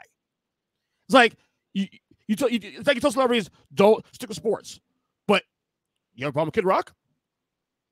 You got a problem with uh I don't know, give me Ted Scott Nugent, Ted Nugent. Didn't bother you. Dennis Quaid, I'm just saying, no, Clint Eastwood, yeah. No, no one John them up. I'm not shutting them up. They have every right to speak, to speak to anyone. You, you're just big mad that your guy or your girl is not voting the way you want it to, and that's not how life Yeah. works, guys. I'd break it to you. Yeah, I just like I said, I can't like Taylor Swift is a talented person, and I'm not going to sit here and like antagonize Swifties. So you're not a Swifty, like, are you? You're not a Swifty, are you? I'm not. I will sing along to songs in the car when Me white too. friends put it on and stuff like that. Like I'll get into the fun. Some of the songs are catchy, but Michael Jackson, she is not. Well, Janet that's a whole- Jackson, she is not. Um, you know, on talent, no, no, but eh, exactly. But influence, she matters. She's big. She speaks, and millions of white girls under 40 will move wherever she points. Ain't those white girls anymore, bro? It's, it's a lot of Well, I know, too, I know. so- I'm just, I'm just taking low blows at this point. Right. Um, I'm taking shots. I have nieces that Uh, love her. I saw a hilarious meme that was a side by side of like Travis Kelce with his previous girlfriend uh, when he went out with a black girl, and he looked, and then now what he looks like going out with Taylor Swift, and it was something like he went. Uh, he went from your cousin's uh, nice white boyfriend at the cookout Mm-hmm. to an officer who turns off his body cam. That's fucked up. That's what. But here's he why. went from he went from like the fade and the kicks and the and the clean fits and everything and like the nice groomed beard to straight up like cop stash. But here's why- and a, right. and a buzz cut. Here's why I think I'm just giggling. but here's why I think this this endorsement is huge, because in a race that many believe is razor thin right now, it's on the margins. If even and she gets to the ten point I just made about having shaky support among young people because of the issues, uh, because of uh, the handling of Gaza. Taylor you- Swift is Right. about as good as in Taylor Swift is going to give you as much cover as possible to be flimsy on that issue. if you get even five or ten thousand more voters in Pennsylvania, five or ten thousand more voters in Michigan, five or ten thousand more voters in Wisconsin, that's the election right there. From Pennsylvania or New Jersey? She's near, she's in the Midwest somewhere, but I know she's an Eagles fan before being with Travis Kelce. Like that was Yeah. a thing. So, Yeah, like, yeah, some- some she shit. from that area. uh, something like that. But like I said, if you get she gets even a, a, a sliver of thousand in some of these battleground states to go vote for her for Kamala just because the Taylor said so. That's huge. Yeah. Yeah. No, I mean it I it annoys me that it carries weight, but it carries weight. Yeah, it annoys me. But again, you can't have both ways. You can't get mad when celebrity endorses somebody. Oh well, they should stick to stick to singing and stick to. But then when endorse when another celebrity endorses your guy, you're all fucking walls to the walls about it. Well, and I'm the first person to come for Laura Ingraham when she tells LeBron and KD to shut up and dribble. So why can I not tell Taylor Swift to embrace being a childless cat lady and telling Elon Musk and JD Vance to fuck off? I mean, you know, like I, mean- can't that like that that's hypocritical if nothing Yeah. else. yeah, sure, sure, they're rich and out of touch, sure, whatever. But they're also voters. I will make fun, but I won't be a hypocrite. Yeah. Now, wh- what about Dick Cheney's endorsement? Ugh. cool. You have something that resembles a conscience after 20 years of or 40 years of committing war crimes in your I'm glad. I'm. fucking I. I am glad. Kamala you belong in the Hague, not a voting booth. Let me say this though, and Kamala was smart here. I- Unless I missed it, she never acknowledged it. She acknowledged Republican endorsements, didn't say the name because I'm sorry. it's radioactive. You don't want to embrace that. Even as somebody who voted for Bush Cheney uh, 2004 re-election, and I know you did too, Guilty. also especially. That motherfucker is the most unpopular vice president to this day. He was polling at nine percent. I think he is arguably the only vice president in the last 50 years that might have actually had a hand in things that happened Yes. while he was in office. Like, I have told people, and I know a lot of my, a lot of my friends sit there and say, you know, well, it's the uh, uh, it's another Republican. Yeah, I get that, and I'm not even saying that. I'm not even saying that I don't want him to not vote for Kamala. I'm not even saying that, but I just don't want that endorsement. A lot of I don't like want, uh, yeah, it's more like I don't want a camera or a microphone in his face. I don't want a reporter publishing what he talks about. I- The I- I man belongs in jail. yeah, I, I, I don't, I don't want the attachment Dick Cheney to Kamala Harris because I, I, don't would be all too Cool, happy to to hand him over to the surviving children of his drone strikes. Like, fuck him. right, right. The guy's a fucking war criminal. So, yeah, I, I that's that, and that's that's my, my only pushback on that whole thing is that And I mean, President Bush makes me giggle, and I and I'm guilty of thinking it's adorable that he and Mrs. Obama are friends and stuff. But like, President Bush belongs in the Hague too. he does. They yeah, committed fucking war crimes. without question. You know, So both, both yeah. to be right. I, I'm yeah. Am I happy he endorsed Kamala, or was going to vote for Kamala? Okay. Yeah, it's cool. like okay, well, I guess if he's not being prosecuted for war crimes, I'm glad he's not voting for President There are Trump. people who- but who I'd still rather he be prosecuted for war I mean, crimes. I mean, there are people who who uh, endorse Donald Trump. I do like. I just don't like Yeah. that they endorsed him, but you know, it, it- so who gives a shit? Yeah, And I don't like that. An endorsement and a vote are two different things. can, we, can we stop that? Because for all we know, and I'm not saying he's going to do this, he can endorse him publicly and, then and probably. I voted for Hillary. I voted for Joe Biden. I did not endorse either one of Hell them. no. I held my nose and it tasted like vinegar when I pulled that fucking lever. You know? Exactly. Exactly. Um, two things we got here. Well, a couple things we got here. I want to talk to you a little bit about this. I don't know how much time we have, to discuss this, but this whole Bernie Sanders Donald Trump tunnel. You see it now publicly now with Tulsi Gabbard, RFK Jr., two people who were, I would say, at one point, Bernie Sanders surrogates in 2016 and even 2020, and were have shared policy positions with him. And all of a sudden now they've found their way into the Trump campaign now, Trump, Trump, Trump camp. And So and, I and- would wait, wait, wait, wait, wait, okay. Oh, And- sorry, and, I go remember, ahead. and, I- and I remember, I remember this. I want to let's speak in a second on this. I remember speaking about this back in 2016, also with you, how like there's a lot of voters that were Bernie Bros that end up going for Trump later on, and I think a lot of, and I think at the time you and I spoke about this reason why this happened was because there's a lot of resentment towards Democratic Party for what they did to Bernie, which I acknowledge. is Yeah, fucked up. I, w- I would call it, I would say the biggest culprit to explain that simply is disingenuous populism. right. Bernie is a populist, but a populist with mostly integrity. His his his actions have more or less aligned with his stated positions, and he has appealed to populist elements to gain to garner support for his positions. Donald Trump, RFK, Tulsi Gabbard, they're disingenuous populists. They're trying to capitalize on that same spirit, but they lack any kind of intellectual or academic integrity, any kind of real policy position. In RFK's in RFK Jr.'s case, a brain that hasn't been eaten by worms. Mhm. Um, you know, like they lack any kind of merit to their argument, but they're trying to capitalize on the same thing. And what they end up doing is capturing the populist moron who doesn't actually read or care about what's being said to them. They just like the vibe. They're just there for the party. yeah, yeah. They think it's funny. They think it's funny when when Bernie, you know, poke takes shots at billionaires and talks about bringing people into the political process, but they don't actually care. I acknowledge. I acknowledge though, like They just like getting hugs from chicks at the rally. Right. I acknowledge like Tulsi Gabbard and RFK Jr. both got screwed by Democrats. No one disagrees with that whatsoever. However, for you to Uh, go from one end to the RFK Jr. should have never been a public figure. Like But- but that he man is, has but he- no that man has Right, no but he is, business though. in our political conversation. I understand that, doing it because his daddy was. I, I get know. it, but but he still is though, and he he he wields some influence. And here's the reality though: he was and, and look, he got look. You don't have to like RFK Jr. And, and I, I've told folks about, about this. Just because you don't like him doesn't mean he has, has a right to not speak at a, at a primary if he's polling enough to do it.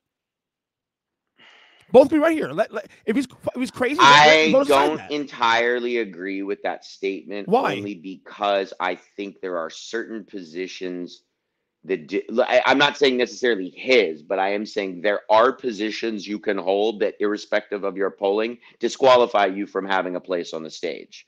And to me, holding an anti-vax position is one of those. But if you're if, but if you're polling twenty percent of the electorate in the Democratic primary, you should be able to at least have a chance to speak. That's all I'm saying.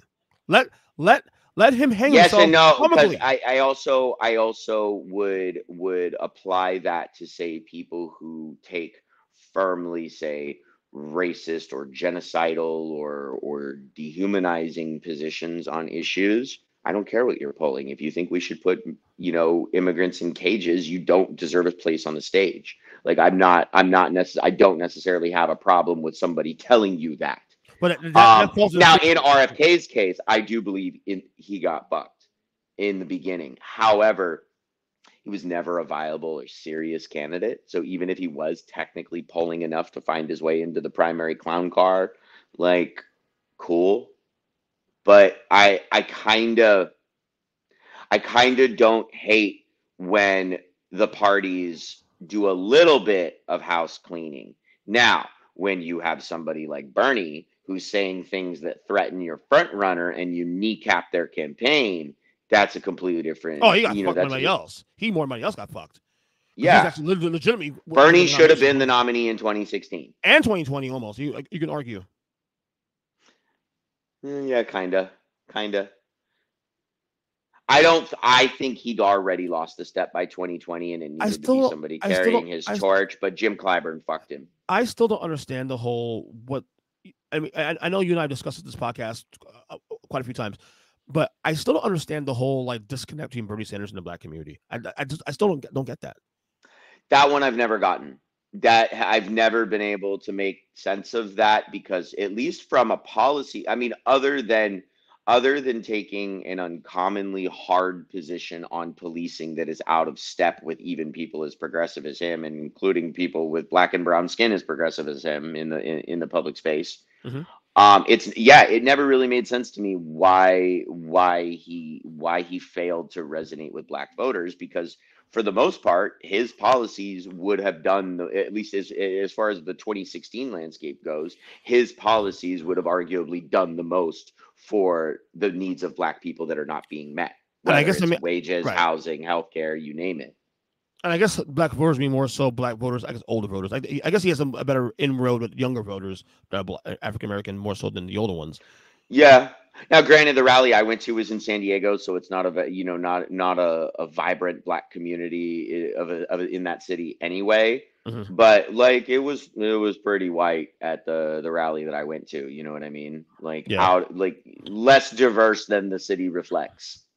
Tulsi Gabbard switched that we saw coming from a mile away. I was off Wait, that what? train. Oh yeah. I, I no, she's. I don't know what her angle is, but it's it's money and influence, and it doesn't have anything to do with issues.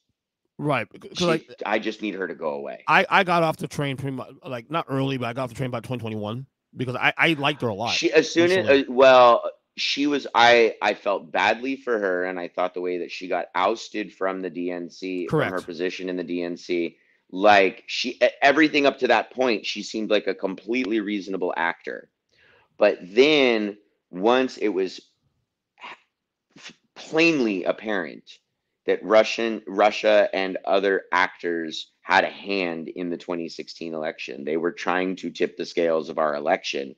She basically called that nonsense and and started like parroting Russian talking points or at least misinformation talking points that were coming out of these bot farms and stuff like that. And I'm like, Tulsi, where'd your where'd your head go? Yeah. What did you just say? And only that, she she stopped talking about the things that I liked about universal healthcare, UBI, um, the military complex. She stopped talking about that because she was getting more love from the right from the right side. Yeah, it's like I don't know who's I don't know who who's paying her checks and and buying her suits and stuff now for her, but whatever it is, they told her to stop talking about those things. Did you see the uh, the, the the the the thing going on with the tenant media and some of the right right wing uh, um, commentators getting uh, uh I guess they got not indicted but they got uh subpoenaed because um there's a Russian yeah, it's a whole bunch company- of the only one whose name I can think of off the top of my head is Benny Johnson. Benny Johnson's one, Uh, Dave Rubin's the other that- one, and Tim Pool. Yeah, there's a dozen there's a dozen or so of them, and they're Lauren all- Chen. Lauren Chen also. Yeah, and basically it came down to that they were financed by a Russian oligarch bot farm, and they just didn't ask where their paychecks were coming from, and they were they were spitting whatever they were told to spit, Right. And, and I'm sorry. and they just didn't question the the money. It- right, if, if you're given being given that kind of money and, and you're a media platform, you have to at least question where it's come from. And to anyone who would say, "Mm, "Run your check, homie," I'm like, "No, No. stop it." That's the problem with our political system: is everybody's running their check. Listen, listen to Kyle Kulinski because he, he he said it's even worse that they do it because they're the same ones that say corporate media bad, this and that for the same reason that they do the same fucking thing. You you know better and you still do it anyway. That So part. you're fucking hypocrite. So actually, you're worse than CNN because we acknowledge CNN, Fox News, all that stuff. They take money from other out, out, Yeah. outside sources. Jake Tapper doesn't have a problem showing you his fucking Central Park West penthouse. You know what I'm Yeah. saying? So, Like, like, like, some, like they, they, he doesn't they- mind telling you he bought a twenty thousand dollar pair of shoes for the Met Gala. Like Yeah. he's uh, he's pretty unapologetic about that. Yeah, Joe but- Scarborough has no problem rubbing it in our face that he can fly back and forth between New York and Florida at But the- will and do whatever the fuck he wants on his show. But right, but the fact, the fact you'll sit here and fucking fucking and sit there and, and say, oh, they're bad for doing that shit, and then you do the same goddamn thing, knowing better and then you that. try to pretend they're one of us because their profile picture is Yeah. them wearing Bullshit. Oakleys in a fucking F one fifty. They they're And- making more money. They're making as much or more than the people on MSNBC. and believe me, I'm sure the people on the left doing the same shit too. Well, I would not be surprised Israel. if Benny Johnson is taking home more money than Nicolle Wallace or Joy Reid. Yeah, he's annoying. You know what I I'm saying? Like it's him. crazy. It's crazy. And that's another another, grifter, like freaking Tim Pool. Another one. Another one. Bernie the, the Trump angle. Tim Pool was a I don't remember Vice him. TV. Tim Pool was a was a was a was a Bernie guy, uh, uh, and now he's, he's a big Trump guy now. And you said he was on Vice. He was on Vice TV for a little while. Yeah, on Vice for a little while. Oh, okay, so he he he did a. He's like the. What you're saying is he's the Temu Gavin McInnes. Yeah. Uh, I guess we're gonna call him that. so yeah, it's an interesting situation. Um, okay, two more things I got here. Um, so I told you um that. So I told you a couple years ago actually that I started watching The West Wing. Um, Oh, never, okay. ne- never, hold on. I got huh, set up for this one because I just finished my rewatch too. so ne- no, no, never. But remember, never finished it during COVID. Um, yeah. Now, explain to me. What? Did you do the Aaron Sorkin fanboy cutout where you basically just left the show when Sam and Aaron left, or when No, no, no. uh, Rob Lowe, I- and, I or just you just lost interest and had I, other I- shit I going just on? stopped because I got time got busy. I know football started. I was, I was back to work again, and it's kind of.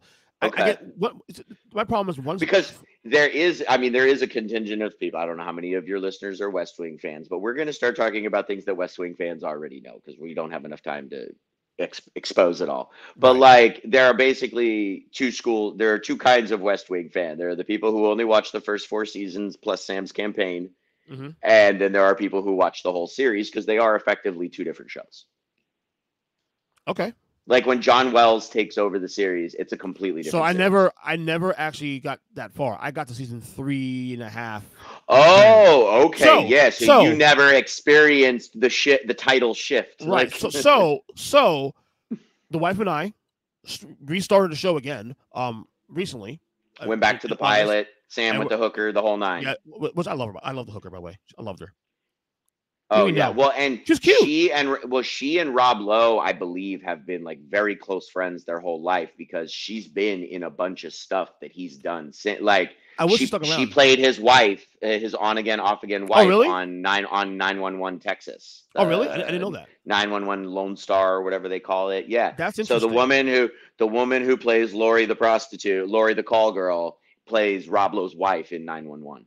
I love that. I love that about her. No, I, I, I had no idea. think her name's Um, Lisa Edelstein. Yes, that's her name. Yes, correct. Yeah, Lisa Edelstein. No, she's cute, dude. She was cute. Least back then, anyway. Oh, you yeah. know. This uh, 25 years ago. well, she had a great she had a great way of like she was sort of the per, like to me at that time like she was a perfect cast for a prostitute in law school. You know what I mean? She was very classy. Like, she was a prostitute, she classy all shit, the though. all the bits. Like yeah, like hell, you can though. you can take her, you can hire her to be your date to a party at the White House. Well, I, Like, I would have, let you know, I, I would have smashed. I would have smashed. Doesn't you know right now. Um, but anyway, um, so now we're watching again. Um, we are now midway through season three, so we're, we're around the time where I left. Oh, off. I thought you wrapped it. Okay. no, no, I no, thought no, you were no, already no, no, done. no. I'm still right now. He hasn't started his campaign yet, but re-election campaign yet. But he's uh, He's but you're you've just gotten through MS and Yeah, the- the- the um, reveal, and Oliver backlash. Babish and Yeah. uh, I mean, you know, it's funny when you when you- when you, brought him up with Babbage, he came in the episode the episode after, literally after. I was like, oh, that's the guy Mark's talking about. he's like, was it in Le Monde? Or was she, when she was, he's like, it was all in the newspaper. He's like, was it in Le Monde? I only read Le Monde. So where, where does West Wing rank among, among your favorite shows all time? Top three. Is it top three for real? Okay. Yeah. It's ER, West Wing, Newsroom. E- ER's that high for you? ER's one. Wow. You know, you know, you know I never watched ER in full? I've oh yeah, I've watched it in full at least five or eight times. Like, and it's a 15 season show with 24 episodes a season. and worth it. And I've watched it through at yeah, at least half a dozen times. So you're a, you're a George Clooney fanboy. Okay, so Here we go. without getting too deep into the ER of it all and taking us off the West Wing thing, because Mhm. those two these two shows do actually kind of go hand in hand in a lot of ways. Right.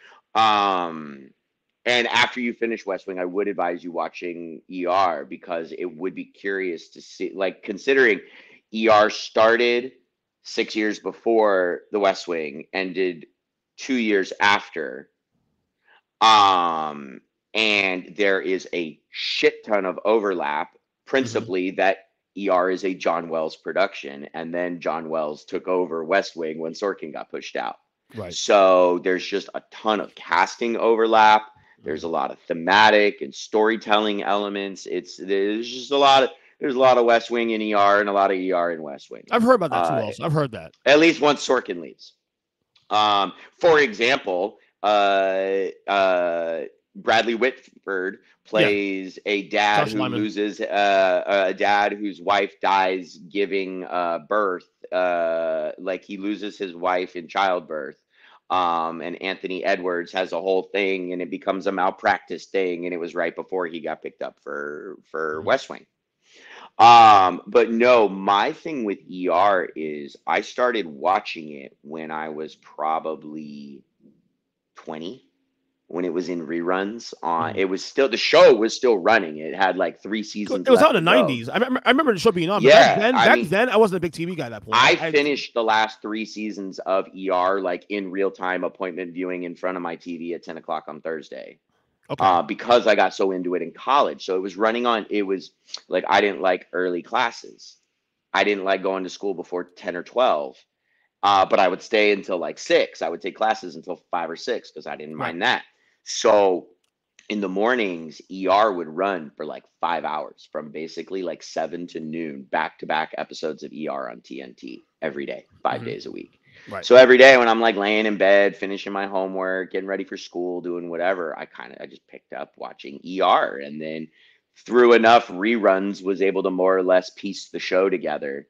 And then during that big strike that lasted like two years in like 05 or 06, the one that like fucked up Entourage and Breaking Bad and like interrupted all these shows. Um, ER was obviously one of them. So I had time in that strike to um, watch the entire series of ER in order, and it's yeah, it's hands down my favorite show. And the thing I've learned is over time, every rewatch, I identify with different characters differently based on where I'm at in my life. Because, like I said, I started watching the show when I was 19, 20, Right. and now I'm 40. So it was like in the beginning, I had a lot more, like I I related a lot more to like Noah Wiley. And then other points in my life, I've related a lot more to like George Clooney or uh, Eric LaSalle or something like that. And Yeah. then more Anthony to watch that. Edwards. And then now it that. freaks me out to watch it because Anthony Edwards, Dr. Green, he his death is heartbreaking. Mhm. And he died three years younger than I am right now. Like I texted another friend of mine who she rewatches ER all the time, and I'm like, Did you know Dr. Green is younger than us? He died younger than we are now. And she's like, I hate you. Don't ever tell me that again. But no, okay. So you're season three West Wing, which means yeah, we're gearing up for the campaign. Um, yeah, for, for the debate with Governor Ritchie is one of my favorite episodes. Yeah. Has the Black Vera Wang episode happened where they go to the play in New York and like CJ's getting death threats and has a Secret Service agent staying with her? no, not yet. I th- okay, I think that's the end of season three. That's really gnarly. That whole arc of Okay. CJ being of CJ being stalked, Yeah. and then the guy who uh, her Secret Service agent is the guy who stars in NCIS. okay. The guy with like the center part, he, he looks he looks like a cop or a federal agent or a soldier Okay. or something Okay. like that. He just has he's got that square jaw, white boy look, you know. Um, anyway, that's a great arc. That's a Right. through it. I think that's the last like three four episodes of the third season, and then four is the campaign. Okay. Okay. I Okay. think. I'll definitely uh check it. I I I, I just texted the wife now. Asking never seen it before. Maybe we should add it to our list of shows to watch. Our ER. Old, old couple. Yeah, I'm gonna ask her now. I just asked her. So I will say the first season is the hardest to get through because it feels more like an 80 it feels more like St. Elmo's Fire or not St. Elmo's Fire. What was um what was the big medical show in the 80s with St. Elmo's Place? St. Elmo's Okay. Place. that's Um, also uh Rob Lowe. Uh St. Elmo's Fire, Rob Lowe. St. Elmo's Place though was Anthony Edwards. Oh, he was Oh yeah, yeah, yeah, that Sorry, yeah, I got it. that was the hospital show with William Daniels, Mr. Feeney Mhm. Yeah. in the 80s. So ER actually feels a little more St. Elmo than like modern show in the first season because they were running on like a shoestring budget.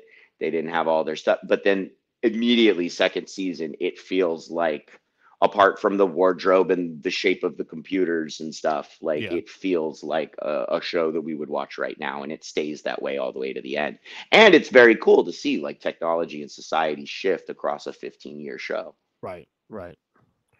All right, one last thing to get out of here. so one thing i will ask you this as we're really quick Yeah. is it weird to you or frustrating to you watching the west wing and seeing them having the same debate almost down to the talking point that we're you know they're talking about some of the same shit 25 years ago. Oh yeah, and we're having literally like tit for tat the, like, you could lift scripts from the west wing into these conversations we're having especially now. like the religious, the, early on in, in the season we had religious people come in there trying to dictate what they should. Oh, in do. the in the yeah, in the the pilot when Yeah. Mary Marsh and Al Yeah. Caldwell come and Yeah. they try to take Josh out to the woodshed, and then President Right. Bartlet gives them a whole fucking thing on the Raggedy Ann doll with a knife. in that was his intro to the show. I think. I'm mistaken. That was his intro. to the show, I Well, believe. so yeah. uh, originally the show was supposed to be just about the White House staff, and the Right. president would just kind of be like a cameo periodically.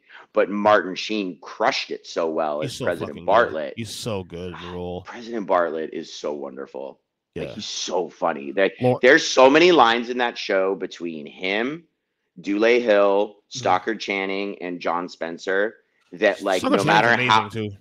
Yeah, she and Martin Sheen have like an incredible on-screen uh, back and forth. Mhm. Like their their dialogue and their arguments are so believable. Yeah. Um, but there there are still just so many one-liners uh between the four of them that just crack me up. Like uh when Leo is going through his confirmation or his uh getting grilled by uh the house about uh about his rehab and stuff Yeah. and he's got the president on the phone and he's asking uh and the president's asking about him flirting with his lawyer Jordan Mhm. and he's like "Ugh, I like you two together. You're like a 50 screwball comedy. He goes, You're like a 50 screwball. and then he, best hangs best character, best character in the show to me is still Leo McGarry.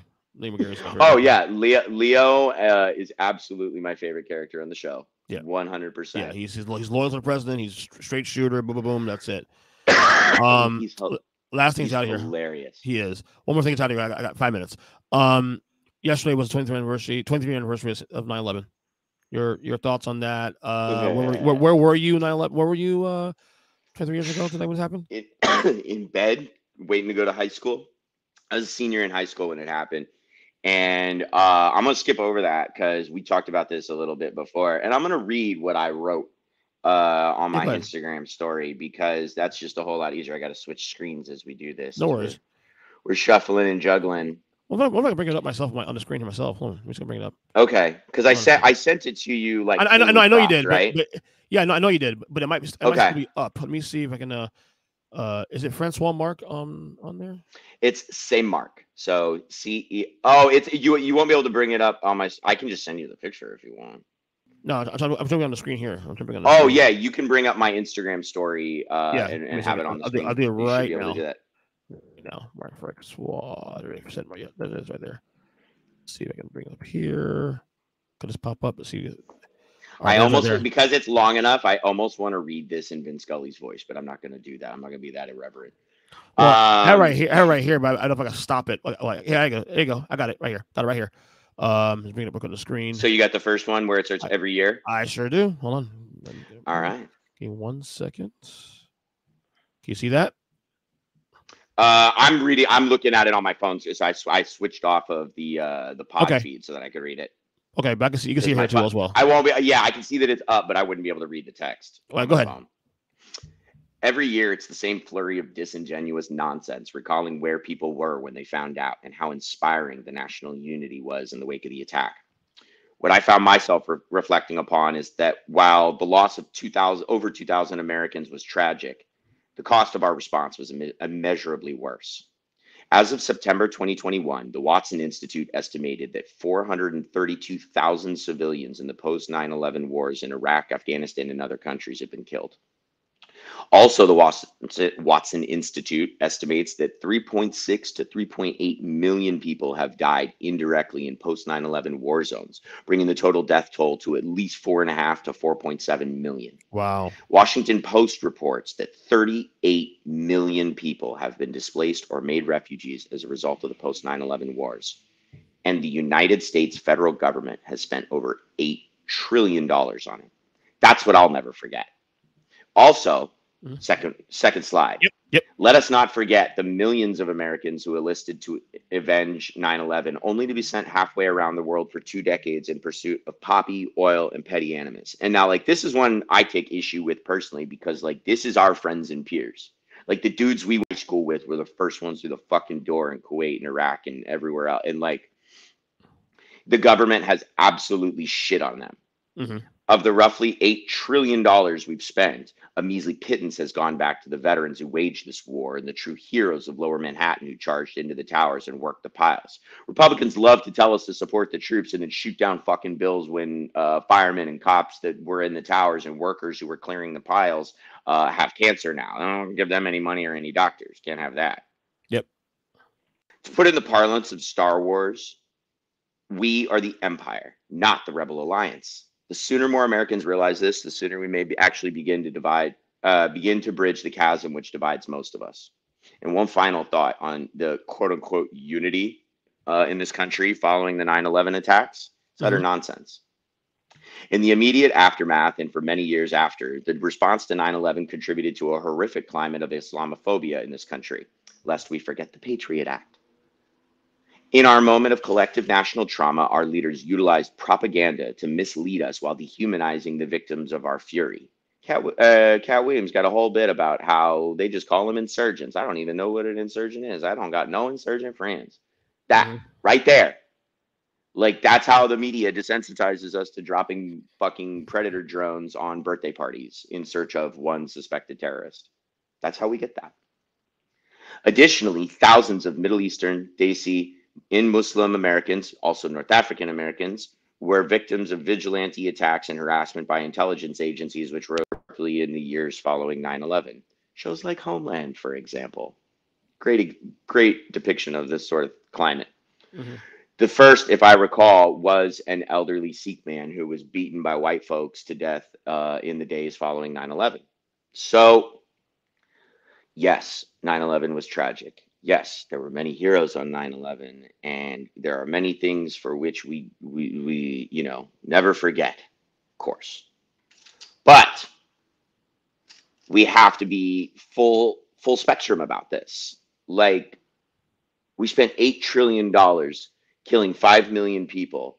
Three, somewhere between two and three million Americans participated in this conflict suicide is the number or excuse me the what is it the number uh the number one group of people who commit the most suicide are, are veterans or it's that uh veterans have the highest rates of suicide of any other americans Mhm. um and the va shits on these people look no further than uh the va complex in la where they gave land to ucla and private schools and they sweet when that land was granted there for the sole purpose, for the expressed and exclusive purpose of housing veterans from the Civil War.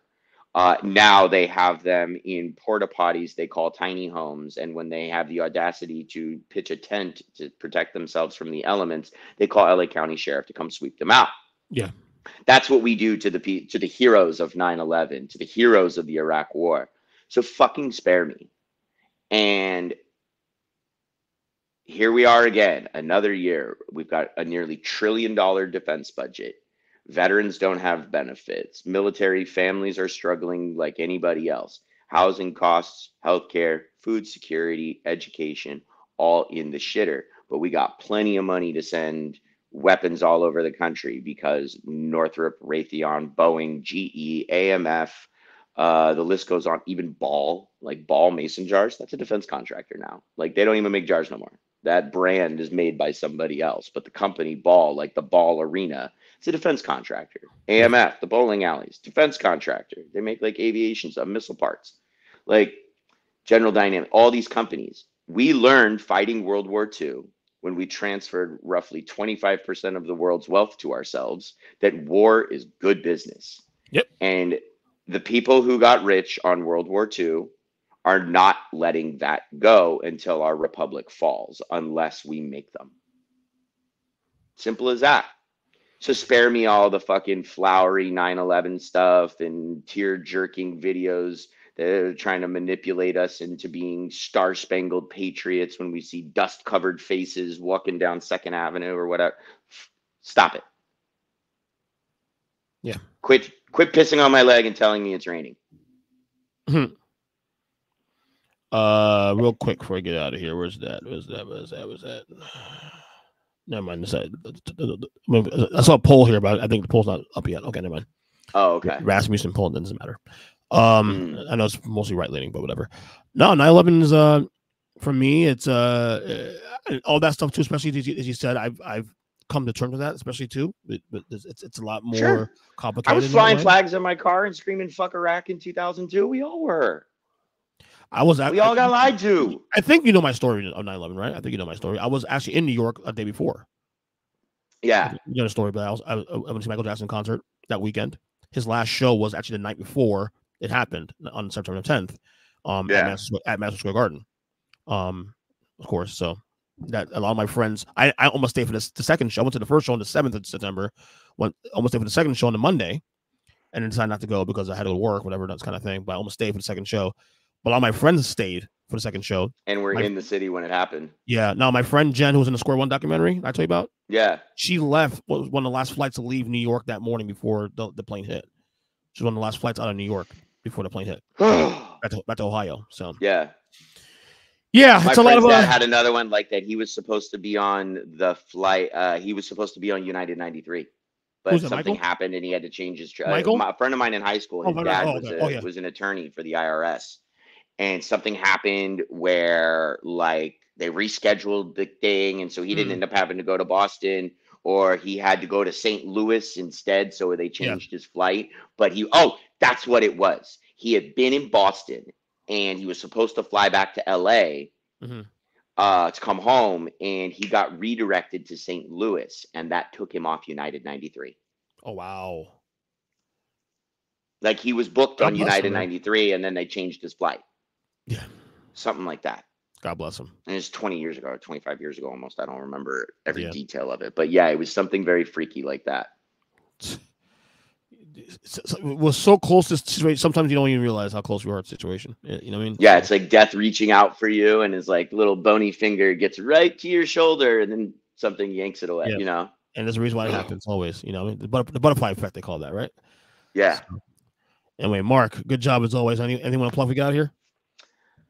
Not today. Nothing special other than always, always, always connect with us. Uh, HAC, the Haitian American Caucus. We always need your help. We've got a lot of good work going on right now in the Dominican Republic. Mhm. Um, our school in Haiti, unfortunately, is still not back up and running. It's you know in the in the heart of Guadalupe and in uh, ground zero for all of the conflict and gang violence and whatnot that's taking place, and we've not been able to rebuild since we got ransacked. So we need money. Give us your money so we can rebuild.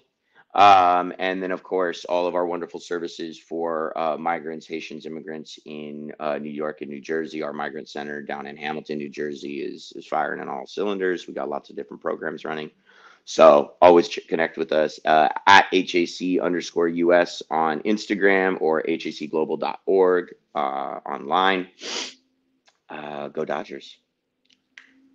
Yeah, yeah, Show yeah, A, show Yeah. A. yeah, yeah, yeah. And good job as always. good job as always, brother. Thanks, man.